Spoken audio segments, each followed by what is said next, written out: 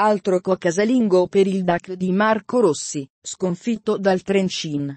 La squadra ora è agganciata in terza posizione dallo Zilina. Domina lo Spartak Trnava. Di seguire risultati e classifica dopo 13 giornate del campionato slovacco.